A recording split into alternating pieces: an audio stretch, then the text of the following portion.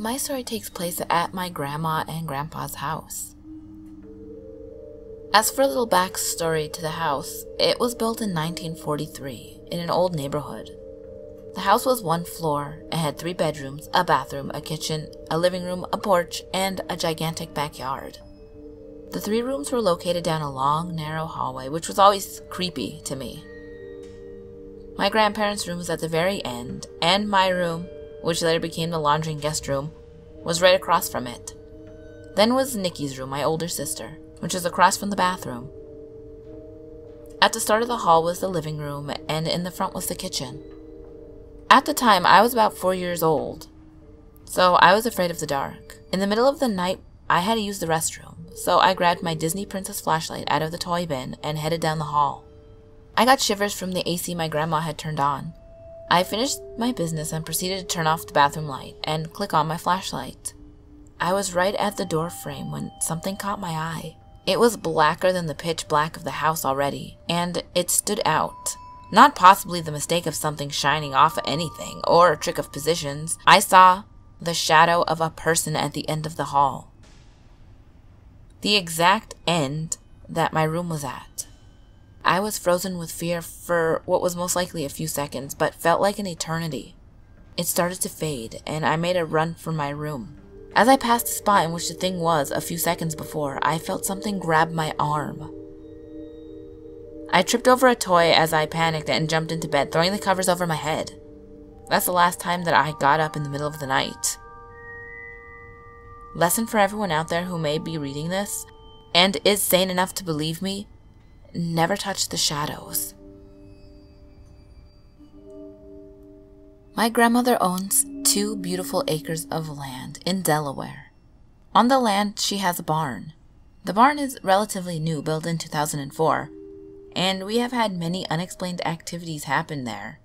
One day, I was out in the barn feeding the cat and I felt someone try to push me to the ground. I immediately exited the barn and ran for the house. A few months later, my grandmother was out in the barn and she thought she saw a black creature, like a dog, run across the field into the small patch of trees adjacent to her property. In those patch of trees is an old outhouse, and, well, my grandmother explored back there when she first moved in and told us never to go out there. One night I was playing outside with the dogs. There was the black shadow that moved along the other side of the fence. It couldn't have been the horse because they were away in the barn, locked in for the night. I was freaked out. I went back inside and told my grandmother. That's when she told me about more of her experiences. Three months before, she was feeding the horses when the tractor started up all by itself. Then a few weeks later, she heard knocking and scratching on her window at 3 a.m., and the dogs went crazy. She told me one time she saw a red black figure walk into the barn through the big lever door and then vanish. About a year ago was the most recent of my experiences. I was in the RV, which is about 20 yards from the barn, when all of a sudden I heard a loud scream come from the barn. I ran for the barn and the door was slammed shut behind me, and writing on the wall, it said, Vas es non esposia hic. I was frozen. To this day, I have no idea what it said. I guess it was in Latin? But ever since then, neither I nor my grandmother have ever had any more experiences in that barn. My question is what was that thing and what did it want? Was the well some sort of portal? I am still blown away by all of this. This is one of my many ghost spirit experiences, but definitely the most cherished. In 2003, when I turned 13, my mother and I moved to Middletown, Delaware.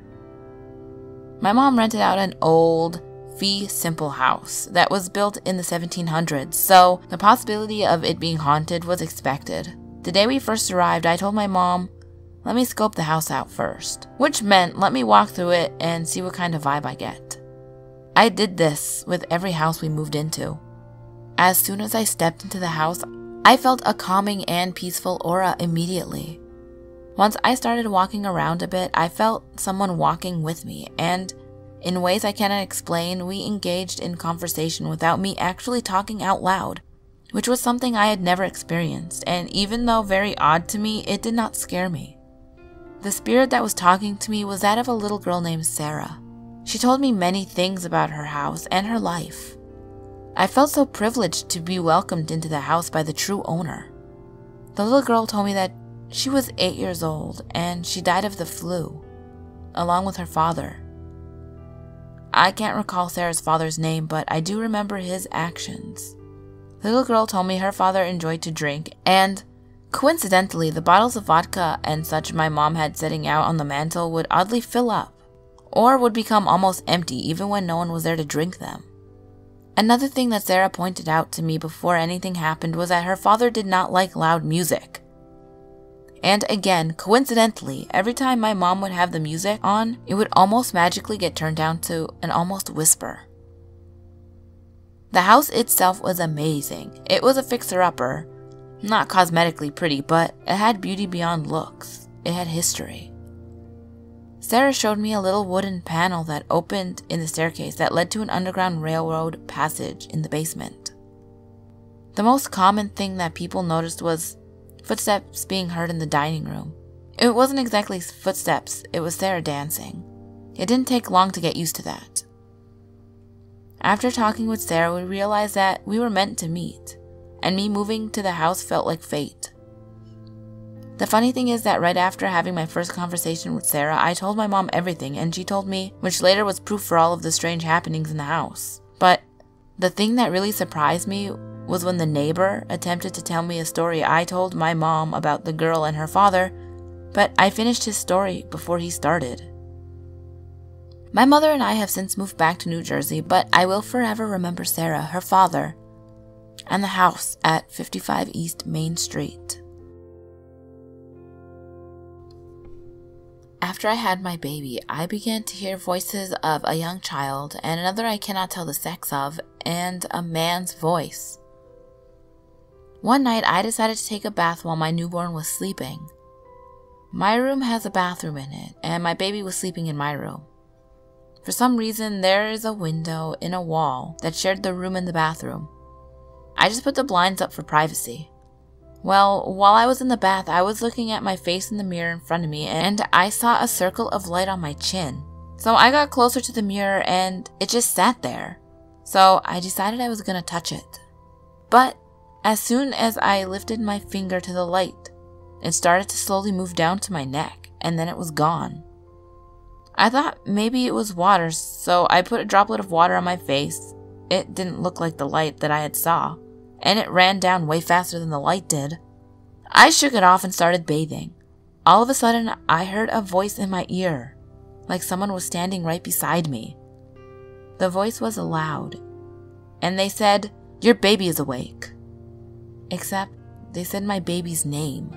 I got out of the tub and hurried up and got a towel. I looked out of the blind, and my baby's legs started to move. A couple days later, I began to hear a little boy hollering mommy in my ear. This little boy would holler mommy in my ear for a couple of nights. One night I was laying in my bed and I decided to put a pillow over my head. All of a sudden, the boy screamed mommy like he was in distress, and his voice sounded like it was getting farther and farther, like someone was dragging him away. In the spring of this year, I was having a problem with my sinuses in my cheek. It felt like it was on fire. But anyway, I begged and pleaded to God to heal me. I laid down on my side, and after a while, I felt someone put their arm over the top of me, like they were leaning over top of me. I started to panic, but then a face came really close to my face, and I was looking straight into their eyes. My body and my mind calmed down, and I can hear a man speaking. The strange thing is, I couldn't understand what he was saying because he was speaking in a different language. After he said what he said, he gave out a big laugh and he was gone. The next day, I had no more problems with my sinus. My name is Stephanie, and this current day and time, I am 21 years old. I've been witnessing paranormal activity and entities since I was very young. And I'm about to tell you one of my first experiences that I've ever had. My mother is very spiritual and has always told me that I'm very sensitive and there's an energy about me that she feels attracts people from the other side, as she is the same way. My mother and father bought our house in central Delaware in the early 80s before I was born. The house was built in the 1900s and is part of the historic district. Shortly after moving in, my mother did a little remodeling, and a few years later, I was born and grew up in the house until we moved to southern Delaware, right before I entered high school.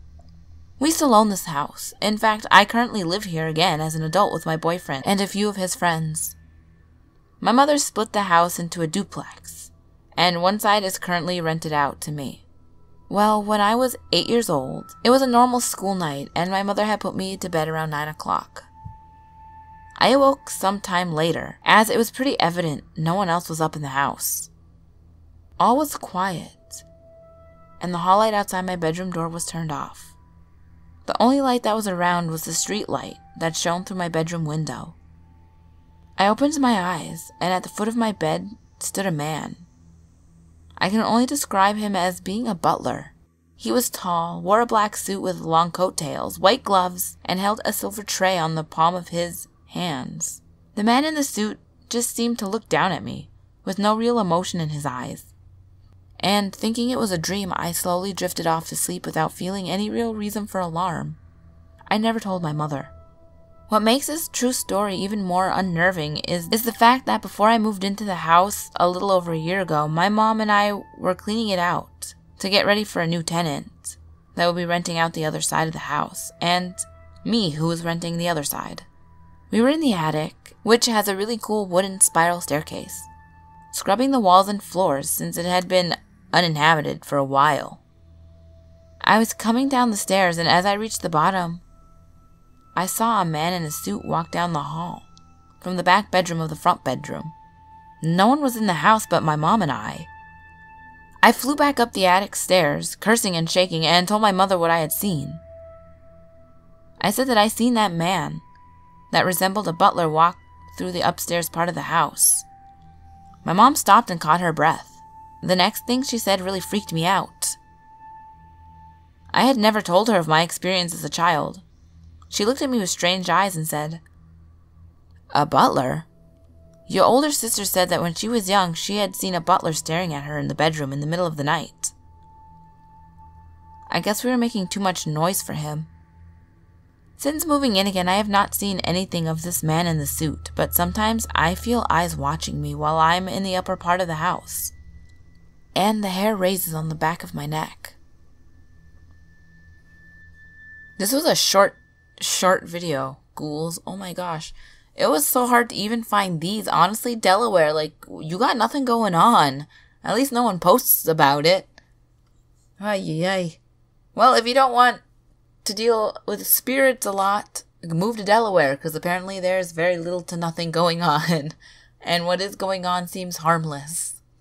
But I guess it's nice to have stories that are nice and mild and don't scare people away from spirits, you know, since most spirits are just friendly, you know, curious beings. They just, you know, they just want to hang out, you know, see what's going on. yeah, but hopefully, next state, which is Florida, I will have a special guest. So, ooh, look forward to that. My last video will be on the top left. My next video will be on the bottom left. All my social medias are on the screen and will also be in the description box below. The secret word for today will be cheese. Because I want cheese. I'm hungry. I recorded this whole thing while starving to death and I had to edit out all my stomach gurgles. So cheese will be the word. And remember, there's always someone or something watching you.